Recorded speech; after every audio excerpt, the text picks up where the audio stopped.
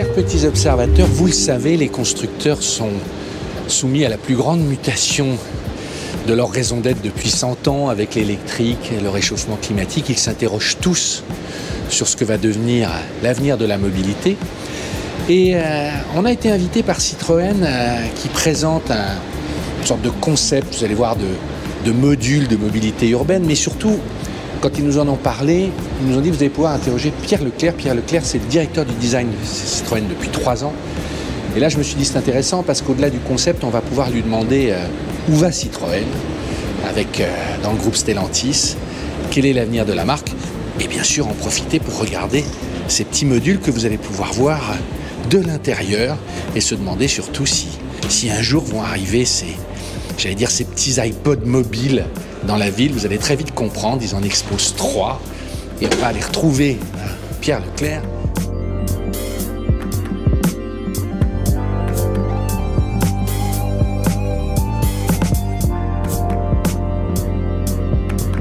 Ils sont là, devant ces modules. Tous. Bonjour Pierre Leclerc. Vous Bonjour. allez bien? Très bien. Ça va Monsieur Fréour Très bien, très bien. Alors est-ce que c'est le futur de la mobilité? Je les ai appelés ces, ces AirPods mobiles, mais vous les appelez les urbains collectifs, c'est ça? Urban Collectif. Ouais, Ouais. Alors ça, c'est le skate qu'on a développé, donc le robot Citroën. c'est que quand vous avez dit skate, on pensait que c'était un skateboard. On va, on va Oui, le regarder de tout près. Mais Julien m'a dit super, c'est un skate. Et quand on est arrivé, c'est une batterie roulante en fait. Je C'est vous ça. provoque. hein. Ouais. L'idée, elle est très simple. Citroën, on développe un robot dans lequel on a toute la technologie. C'est-à-dire, il y a les batteries évidemment, il y a la technologie autonome, les roues. Tout ça avec quatre vérins qui sont en open source, donc euh, sur Internet, partagés sur Internet. Je comprends pas, ça veut dire quoi les Alors, en open source? Que je. On a quatre vérins qui, qui vont soulever les cellules, donc on va le voir là. Euh, ces quatre vérins, à partir du moment où on prend ça comme point dur, on peut développer n'importe quoi. Ça peut être une caisse en bois. Ah oui, oui, d'accord. Sur ces quatre points durs, mais ça peut être une, euh, une des cellules comme ce qu'on On va aller les voir. Vous voulez dire, en fait, ça monte et en fait, ça, ça rend mobile, ça, euh, c'est voilà, ça. une caisse, euh, Tout à un- fait. un, Et- appart. euh, enfin, Et, ouais, et puis on, on va voir finalement qu'on peut complètement réinventer ce qu'on fait quand on va de A à B aujourd'hui. Euh, parce qu'on se rend compte que évidemment l'automobile est encore un objet qui fait rêver, mais pas dans toutes les conditions. Donc dans un certain écosystème, on développe ce genre de, de- de- de- de- de concept qui finalement va nous rendre des services incroyables et va réinventer l'expérience. vous y croyez vraiment parce qu'on a envie d'y croire. Oui. On se dit c'est génial euh, parce que là c'est donc c'est autonome. Il y a des une première c'est les roues euh, Oui. euh, comme des ballons. C'est Goodyear qui fait ça, je Oui, crois. Mais euh, il faut quand même que ça soit sur une route balisée, etc. Bon, est-ce que c'est pour les aéroports, c'est pour les hôtels ou est-ce qu'un jour vous, vraiment vous voyez ça? Parce que tout le monde réfléchit à ça, mais c'est au-delà du rêve, c'est possible? J'espère que c'est au-delà du rêve, sinon je- Ouais. on, on ne le ferait pas. Évi- évidemment, on y croit. Maintenant, nous, ce qu'on fait aussi, c'est jeter un pavé dans la mare Ouais. et, et- et espérer des réactions. Mais clairement, il n'y a, y a rien il y a rien d'impossible. Ouais. Euh, Alors ici, on a des concepts, euh, on les visualise d'une certaine manière. Il y a moyen de faire tellement de choses différentes, mais en tout cas, l'idée est là. Nous, euh, on utilise la technologie autonome dans des objets finalement qui vont rouler 20, 20 heures sur 24. Et c'est là où le prix de la technologie autonome a un sens et peut être remboursé, où il y a un business case en tout cas qui, qui tient la route. Je pense que le, le- vraiment l'intérêt de ce qu'on propose aujourd'hui aussi, c'est de dire, voilà, nous Citroën, on procure la technologie. Maintenant, à vous les partenaires de développer des expériences nouvelles et des choses qu'on va faire en allant d'un point A à un point B. Ça, donc c'est un partenariat que vous avez fait avec les hôtels Alors- Sofitel. Donc on imagine, c'est ce que vous dites, hein, ça vient en dessous, mais Oui. on pourrait se promener d'un. d'un- Finalement, ceci, Ah, vous m'avez pré- préparé un peu, de, un peu de champagne Voilà. rosé, c'est exactement ce qu'il nous faut. C'est génial. il est frais en plus. Ouais, vous disiez, c'est, après c'est aux partenaires de tomber dessus. C'est-à-dire que là, vous en avez pris trois, mais l'idée c'est que des gens puissent vous appeler derrière et dire. euh, parce que ça pourrait être opérationnel quand? Alors, nos designers, en deux jours, ont développé 65 concepts Ah ouais. sur, rentable. sur la mide. ça. Ouais. Ça, ça, c'est rentable. Qui les inspirait, qui Euh. étaient justement avec des marques. Là, on est dans une sorte de bulle Sofitel. Mais c'est- Des, ça des peut choses complètement différentes, hein. Com- complètement différentes, donc des transports, du sport dans les cellules, évidemment le- euh, on peut euh, faire la livraison de colis euh, en, en toutes sortes, mais le monde médical, des frais de chèque pour en, allant à l'hôpital.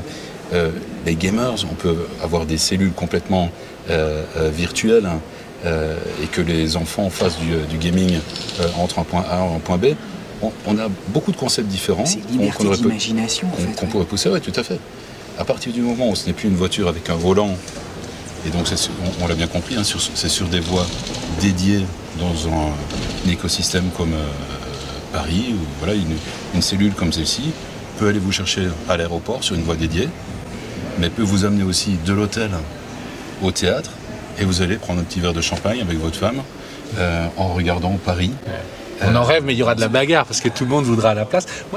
Moi, j'ai une question. Euh, on voit bien que c'est tout change pour euh, les constructeurs. Mhm.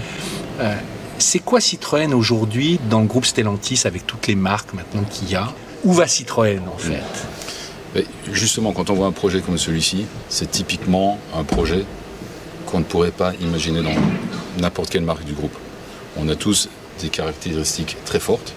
Citroën a toujours été là pour être extrêmement innovant, jeter un pavé dans la mare, essayer d'amener des réponses tout à fait différentes des autres constructeurs.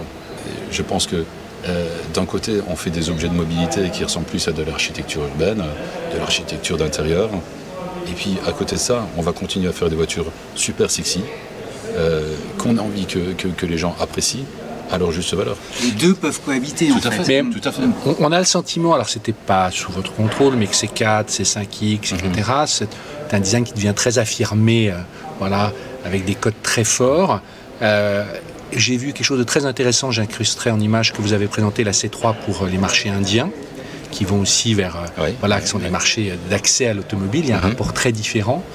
Mais on voit bien, on l'a lu aussi parfois, que dans le groupe, Citroën devient une marque d'accès de gamme, hein, on peut le dire, je pense mhm. et, à la fois populaire. Comment vous, en tant que chef du design, vous, vous trouvez votre chemin justement entre une Jeep, une Peugeot, etc., euh, maintenant que le grand groupe est devant Est-ce que c'est plus difficile? Alors, vous ne pouvez pas vous imaginer à quel point moi je suis heureux de finalement travailler pour une marque qui se dit populaire. Euh, on veut finalement donner la mobilité des voitures à tout le monde. Euh, que la mobilité soit accessible à tous, finalement.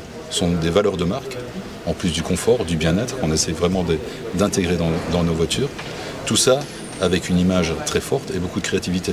Puisque les marques françaises en général, et certainement Citroën, est reconnue pour être toujours créatif et se réinventer. Et ça, dans, la peau d'un designer, c'est la, c'est la meilleure sauce. Je, suis, content d'être là et d'en faire partie. On a, le sentiment qu'à chaque fois Citroën repart d'une page blanche et j'ai le sentiment que c'est encore de nouveau ce qui va se passer. C'est plus compliqué, c'est plus facile quand, quand on doit repartir d'une page blanche plutôt que d'avoir des codes très précis au-delà de ce passé qui est lourd hein, pour vous parce que vous arrivez avec euh, finalement une telle histoire, un tel patrimoine. Je pense qu'il faut faut, on a un patrimoine euh, énorme et tellement important qu'il ne faut pas négliger. Maintenant, faut toujours pouvoir se réinventer. Euh, je pense que Citroën n'a jamais tombé dans le rétro-design, par exemple. Ce sont des choses qu'on n'a pas envie de faire parce qu'il y a tellement d'autres belles choses à faire, tout en respectant ce qui a été fait dans le passé. Ça, c'est une certitude. On ne verra pas une deux chevaux comme Renault fait avec la Renault 5, etc. C'est n'est pas dans la philosophie aujourd'hui du groupe. C'est pas dans, dans, la philosophie de la marque, non. Pas pour le monde, en tout cas. Donc le design est important. Euh, je suis content de travailler pour une marque qui est prête à prendre des risques. Euh, donc, euh, Pour vous, c'est 5X, c'est un RIX. même si, encore une fois, vous êtes arrivé en cours de c'est un risque ou pas? Parce qu'elle est très. Mhm. pour le coup, elle mélange les genres. En plus, elle doit chasser sur, à la fois en Chine, etc. mais c'est la prochaine qui va arriver, on va dire. Comment vous la, vous la présenteriez, pareil, à un Citroëniste qui a connu les DS et qui se réveille aujourd'hui et qui renaît? Vous lui diriez quoi? Oui, une C5X, c'est clairement un risque parce que c'est encore une fois un, objet assez détonnant dans la, dans la rue. et, on va la voir dans, le milieu euh, euh, urbain. Quand on voit cette voiture bouger au milieu des autres voitures, on se rend compte que c'est une voiture qui, détonne, qui, est très originale. Tout à fait. Mm. Donc, à partir du moment où on a quelque chose qui n'est pas conventionnel, c'est un risque on est content de le prendre. Encore une fois, moi, je, suis content de travailler pour une marque qui prend ce genre de, risque. Ami en est un aussi. Et on, se rend compte à quel point aujourd'hui Ami est tellement important pour la marque, parce que c'est une philosophie finalement que, et, un objet, une conclusion, une réponse à un problème qui existe vraiment. Et donc c'est une époque où les villes se ferment de plus en plus, deviennent. On, commence à en voir. On en voit en Angleterre aussi. il y a plusieurs pays hein, qui ont ouvert. Et, puis encore une fois, c'est vraiment amener une réponse à un problème, mais une réponse disruptive et accessible à tous je pense qu'on peut être très fier de, de, tu, parles de, prise de risque, ça veut dire que les projets sur lesquels tu travailles, les, nouvelles Citroën qui vont arriver, tu pousses le bouchon très fort. Tu vois, j'imagine que les débats sont toujours vifs, forcément. Tu vois, il y a l'intérêt du marketing, les finances qui coûtent énormément. Et toi, tu dis, écoutez, faites-nous confiance, euh, je vous assure, il faut faire ça. Alors, moi, typiquement, je, travaille main dans la main avec le produit, euh, avec la marque, évidemment. Mais oui, la demande est là de pousser à fond et, on pousse, et on n'arrête jamais nos créatifs, on essaye d'aller le, plus loin possible. Évidemment, on sait où on est, on sait où on va, et puis il faut taper entre, mais euh, on essaye vraiment de réinventer à chaque fois ce qu'on fait et d'être le plus moderne et le plus innovant euh, possible. Mais est-ce que la marque n'est pas moins libre aujourd'hui parce que justement avec toutes les marques du groupe, on dit non ça c'est trop premium, on ne pouvait pas y aller, ça c'est peut-être trop SUV, c'est Jeep, enfin je donne des exemples comme ça. Est-ce que c'est pas plus dur aujourd'hui d'arriver à trouver ce chemin euh, parce que certains territoires vous sont interdits?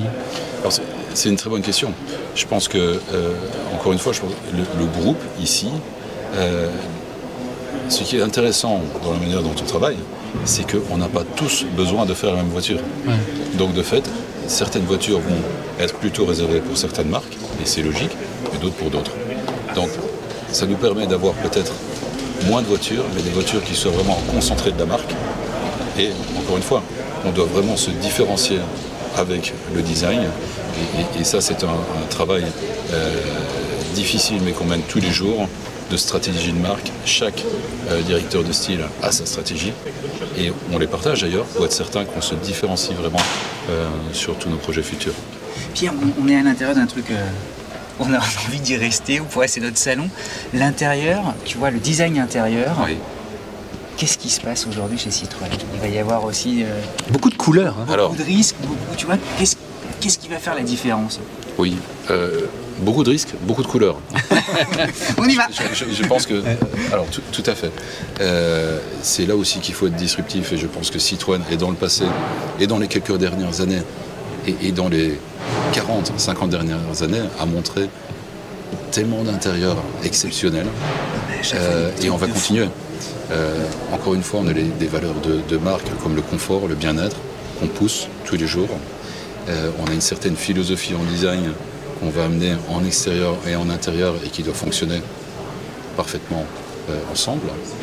Mais clairement, l'intérieur aujourd'hui prend une importance énorme euh, sur l'extérieur parce que la technologie, parce que tout ce qui est euh, expérience de l'utilisateur, et c'est là qu'on a vraiment quelque chose à jouer avec Citroën. Et encore une fois, essayer vraiment de se différencier et en expérience et en style proprement dit. Il y a un débat sur les écrans notamment leur intégration. Euh, il y aura des écrans plus grands, il y aura des head-up displays plus grands, il y aura une très belle intégration. Comment ça se passe? Comment tu gères tout ça avec tes équipes? On a une philosophie très simple quand on en vient à la discussion des écrans, c'est que l'utilisation de la voiture doit être extrêmement intuitive. On n'est pas, pas là pour en mettre plein la vue, on est là pour avoir quelque chose de très fonctionnel, qui soit évidemment agréable et qui contribue au confort de l'utilisateur, mais qui doit être intuitif. C'est extrêmement important. Est-ce que ça change le métier du designer aujourd'hui, puisque finalement les écrans, leur, euh, leur interface et leur apparence devient fondamentale? Évidemment, quand on retrouve un écran de cette taille-là dans un intérieur, eh bien, euh, ça prend quand même pas mal de place, donc ça définit une certaine architecture.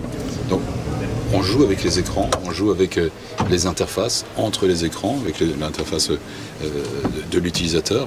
Euh, donc tout ce qu'on appelle aujourd'hui UX, donc expérience, et UI, interface, ça définit vraiment ce qu'on va, les, architectures de nos intérieurs de demain, clairement. Et ça veut dire que le métier de designer pour vous, ah, je dis vous, toi et tes équipes, mhm. tu dirais qu'il a complètement changé par rapport à cette arrivée massive justement, on va dire de la même de la domotique à bord, ou euh, il faut toujours quand même savoir tenir un crayon et modeler. Ah, il faut toujours euh, savoir tenir le crayon, bien sûr, bien sûr. Oui, parce que euh, et, ça reste des départements alors qui, travaillent beaucoup ensemble, mais on a vraiment des gens spécialisés dans tout ce qui est digital, et puis on garde nos designers qui font la géométrie intérieure. Par contre, euh, ce qui est assez intéressant, c'est qu'on on engage quand même de plus en plus des designers, même en intérieur, qui viennent du produit, de l'architecture, d'un monde un petit peu plus digital, parce qu'ils ont vraiment quelque chose d'intéressant à, amener. Il y a une annonce Ferrari a embauché euh, l'ancien designer d'Apple. Incroyable. C'est-à-dire que ces deux mondes, tout à coup, ces deux planètes. Je ne pas savoir combien il le paye, mais ça peut pas être donné. non, mais c'est intéressant. Tu vois, non, mais qu'est-ce que tu en penses Voilà, parce que ça, au-delà de la com, hum. ça veut dire beaucoup. Quand on regarde tous les produits euh, sur lesquels il a bossé, euh, en termes d'innovation, c'est admirable. Alors, le fait de se réinventer à chaque fois, à chaque produit, et d'essayer, encore une fois, d'amener une, nouvelle solution euh, euh, aux utilisateurs. Et qui fonctionne et qui soit un succès. C'est ça, ce sont des choses que j'admire. C'est-à-dire que quand l'iPod, le premier iPod est sorti, ça n'a pas nécessairement plu à tout le monde. On était habitué de mettre un CD, d'avoir tout l'album. Hein. À partir du moment où on pousse sur le mode shuffle parce qu'on a 2000 chansons sur l'iPod, ok, c'était pas évident de rentrer dans cette logique. Mais finalement, ils ont chamboulé le monde de la musique, ils ont révolutionné notre utilisation des CD, de la, musique en général. Et, ça, je trouve, vraiment admirable. Mais Pierre, est-ce que ça donne pas du crédit à ceux qui, là je pense à nos mhm. communautés, des gens qui aiment l'automobile, qui nous suivent, on entend souvent cette phrase l'automobile c'est en train de devenir un iPhone sur quatre roues. Là, avec l'arrivée de est-ce que ça, ça vous fait pas un peu peur parfois de se dire ah oui, on, est tellement, mhm. tellement plus dans l'immatériel que les autos, aussi charmantes soient-elles, deviennent des cubes quoi? Donc est-ce que c'est c'est compatible? Si j'étais d'accord avec ça, je, je pense que je, change, je change de boulot. Euh, tu t'en vas. Euh, je, fais autre chose. Euh, je pense qu'il y a beaucoup plus à dessiner sur une automobile que sur un iPhone. La technologie est faite autrement. Évidemment, en termes de software, en termes de user experience, on a besoin d'être innovant, d'avoir des choses encore une fois qui fonctionnent parfaitement avec les valeurs de marque. Mais la voiture reste probablement un des objets les plus complexes à dessiner parce qu'on parle de proportions, on parle de surfaces qui sont compliquées. C'est un objet quand même très très, complexe. Avec une harmonie des euh, silhouettes et tout ça, c'est hyper dur. Les designers ont vraiment leur place et je suis de ceux qui croient que la voiture doit rester un objet sexy. Pour moi, c'est une, philosophie surtout, euh, et puis euh, surtout essayer de faire quelque chose de disruptif. Choquer, c'est bien, surtout à un moment du, processus de, développement. Choquer, c'est bien, euh, ça choquera moins, moins à la sortie. Mais euh, euh, c'est une valeur de marque, ça, vous diriez presque être disruptif, être innovant jusqu'au point d'être disruptif, je pense que c'est vraiment une valeur de marque. Mais ça veut dire qu'aujourd'hui, quelqu'un va vous accepter qu'il y a des gens qui ne sont pas du tout, qui vont pas du tout aimer le style, pas du tout, pour avoir de l'autre côté des fans, c'est ça l'idée quand même, de ne pas laisser indifférent? Je pense que, moi j'appelle toujours ça la, zone grise. Être dans la zone grise chez Citroën, c'est pas bon signe. Ce ne sont pas les valeurs de marque de se retrouver dans la zone grise on doit soit aller un peu plus vers le noir ou soit un peu plus vers, le blanc, et, quitte, à être détesté par certains, être adoré par d'autres. Ensuite, euh, dans la philosophie de design, dans les stratégies, il y a des choses qu'on suit et qu'on essaye d'avoir, et en intérieur et en extérieur, pour avoir des choses cohérentes et puis qui évoluent avec euh, le, style évidemment. Mais la simplicité, par exemple, c'est quelque chose euh, qui nous est propre et qu'on veut garder. Le contraste, avec la couleur, les formes, les contrastes entre langage de forme sont des choses que vous allez découvrir dans les futurs Citroën et sont des choses qui nous guident vraiment dans notre travail de tous les jours. Merci beaucoup Pierre. Euh, voilà, vous êtes déjà allé voir. On va aller juste terminer avec les autres concepts. Le concept de celle-ci, JC Deco, c'est l'abri de bus qui vient vers vous. C'est plus vous qui allez à l'abri de bus. L'abri de bus vient vous chercher. Donc des trajets euh, simplifiés, plus courts, plus rapides. Et puis la possibilité, par exemple, de, visiter Paris. C'est Anne Hidalgo qu'il faut que vous présentiez vos concepts. Elle va adorer, je pense. non, mais, non, mais, ce que je, non, mais au-delà de l'ironie, en fait, euh, euh, il faut plus qu'il y ait de voitures dans la ville pour que ça, ça, prenne la place si on poussait le raisonnement jusqu'au bout. C'est sur voie dédiée. Hein. Oui, c'est sur voie dédiée. clairement sur voie dédiée. bon, venez, venez. qu'on a fait Ce qui est marrant, ça fait Finalement, penser, tu sais, aux anciens autobus, tu sais, à l'arrière. Je crois que c'est volontaire, non Avec des petits balcons. deux, deux places assises, on va dire à l'extérieur, deux places assises à l'intérieur, vous pouvez rester debout. Euh, c'est important de pouvoir y mettre une euh, chaise roulante également. Et puis euh, des codes style qui fonctionnent parfaitement avec ce que JC Deco fait. Ok. Ben, un grand merci. Voilà, je crois que c'était clair. J'espère qu'on va se revoir. Un grand Voilà, Dans plaisir. une voiture. À très, très bientôt. Notre prochaine auto. Un, un- un jour que tu nous ouvres Voilà. peut-être les portes de ton bureau aussi, Ouais. vois, qu'on puisse Oui, voir. euh. Oui, c'est toujours difficile de parler ouais, sans ouais, ouais. montrer. Donc Ouais. euh, c'est un exercice. Merci d'avoir joué le jeu. C'est Ouais. très sympa. Merci Pierre. À bientôt.